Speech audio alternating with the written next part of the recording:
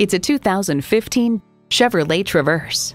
Chevrolet, 100 years of icons. Features include automatic transmission, front heated bucket seats, streaming audio, rear parking sensors, driver and passenger heated seat back, power heated mirrors, external memory control, power sliding and tilting sunroof, wireless phone connectivity, and V6 engine.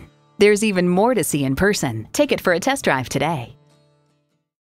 Choose Sheboygan Auto. We're conveniently located at 3400 South Business Drive or at 2701 Washington Avenue in Sheboygan, Wisconsin. SheboyganAutos.com.